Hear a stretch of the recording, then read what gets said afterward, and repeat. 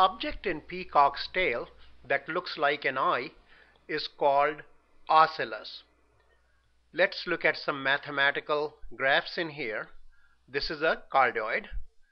Then it is surrounded by ellipse and ellipse is surrounded by um, and uh, plural of ocellus is ocelli.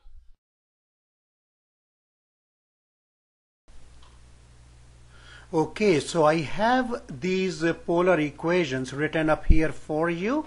R equals 1 plus sine theta is a cardioid and then here I have an ellipse written in a little messy manner. Okay, I'll let you write a smarter equation and here we have a, a limacon and then we got another limacon.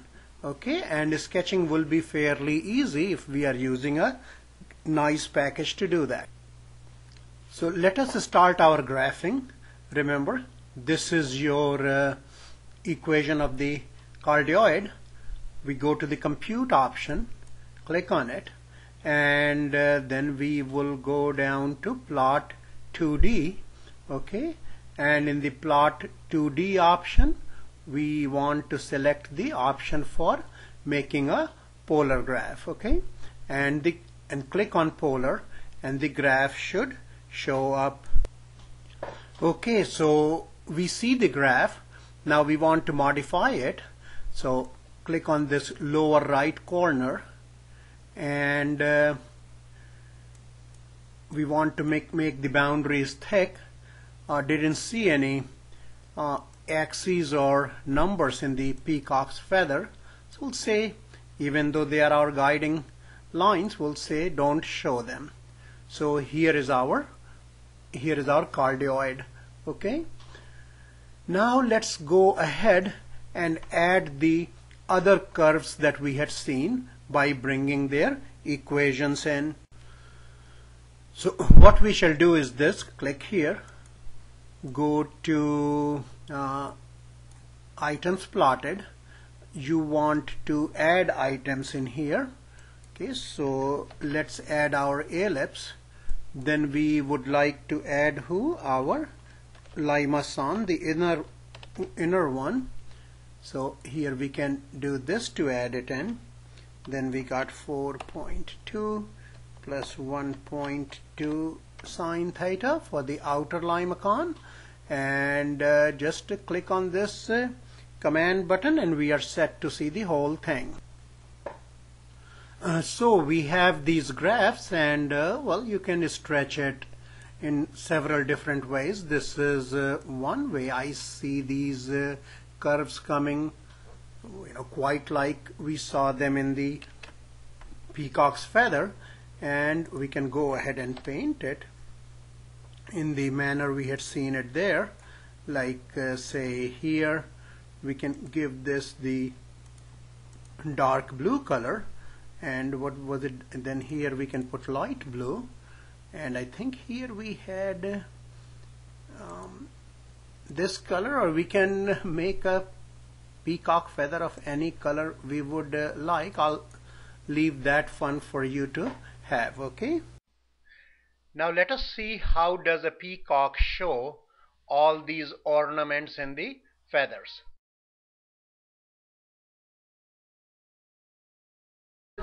నువ్వు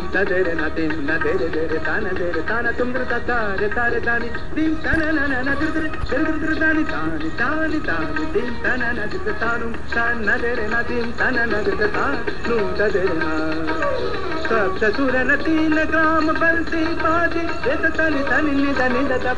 మగ మధ గమ धारा किरता धारा किरता धारा किरता कारण धारण धारत पारत परत नहीं परन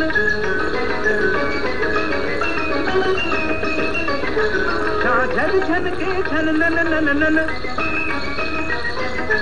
నదిరి దీం తను నన నన తన తన నదీం తన నదిరి తాను తా నదిరి నదీం తన నదిరి తా నూన్ తదిరి నదీం తన నదిరి తా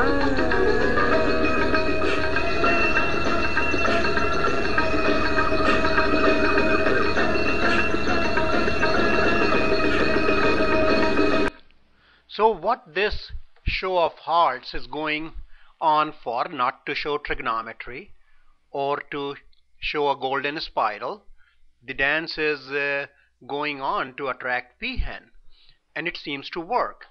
That is, when the peacocks dance, it seems to attract peahen and what has been seen is this, that if a peacock has higher number of ocelli in its feathers, then more peahen are attracted towards it. I don't know if the peahen count, but you know that's what the data shows.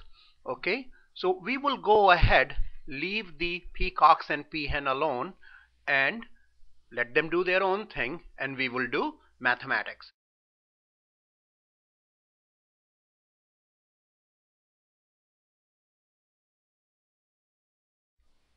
Our data comes from this paper by Manning and Hartley in which they develop a numerical measure for these two variables symmetry and ornamentation and then show that the two are correlated. But before we see the calculations, let's just take uh, a survey of symmetry as a measure or as an indication of beauty in various objects like this sculpture or this uh, famous man-made architecture or in this uh, pair of cobra spectacles or in this uh, drawing that I made inspired by NBC logo. So Manning and Hartley in their calculations made a vertical line through the middle of the peacock train, ignored the number of ocelli on the line counted the number on one side of the line, call it m, on the other side, call that number n, and then define the absolute value of the difference as train symmetry. Here is this beautiful peacock that Gautam has made and we can see Bhola is standing in the center right here showing us the axis of symmetry and he likes symmetry. You can see the bell curve on his shirt. And here is Gautam. Gautam how many ocelli on your side? 31 thank you thank you. And uh, Daya Shankar how many ocelli on your side? 43 and so what is the tail symmetry? 31 uh, actually 43 and then you will subtract uh, what was Gautam's 31 that is the tail symmetry for this peacock is how much? 12 Manning and Hartley what they did was they recorded this data while doing what I was not able to do that is taking pictures of 18 peacocks while they were facing the camera. And you can see here that as the number of ocelli increases the train symmetry appeared to decrease. Now the peacocks were showing us a very good dance so why don't we go ahead and uh, look at this by using a display say scatter plot with number of ocelli as explanatory variable plotted on the x-axis and the train symmetry as the response plotted on the y-axis so to do that we'll go to this feature what Excel calls chart wizard click on that.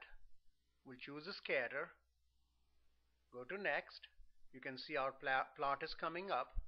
We'll go ahead and uh, write the relevant things like this is peacock's uh, excuse me peacock's tail okay? And um, here we have number of ocelli and here we have the train symmetry okay? And uh, we can finish it. We can remove some certain things that we may not necessarily want okay? Enlarge the picture alright here we go and here we go. And our numbers in the x-axis are way out of bounds so we will click on the x-axis and ask and change the scale not to make the things fit too tight. So let's start at 100 and here we go.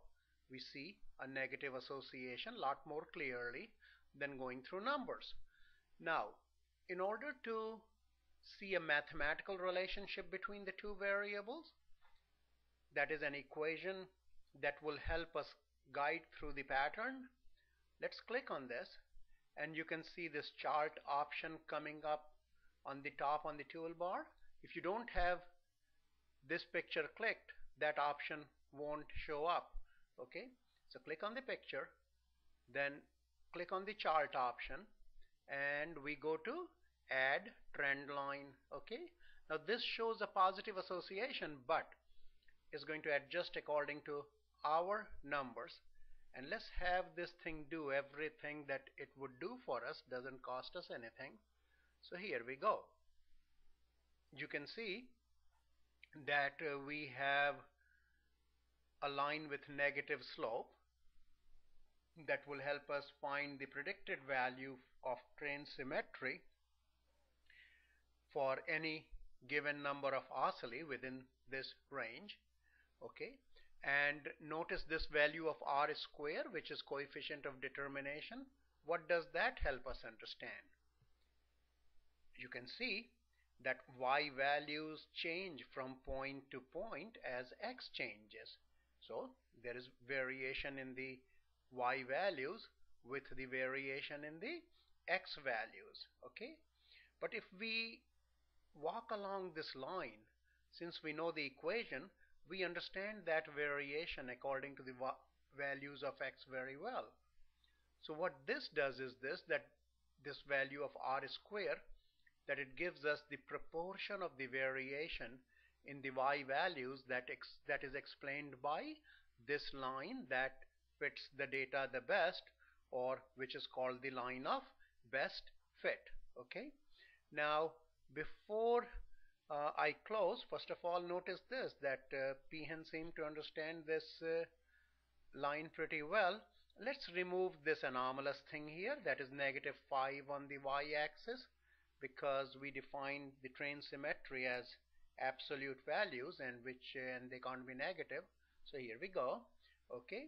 Now we'll leave the other things like uh, a distribution of the lengths uh, the the lengths of the tails of peacock and other things in the upcoming attractions. Okay now go ahead and work on your other regression exercises and if you have any questions let me know. Okay thanks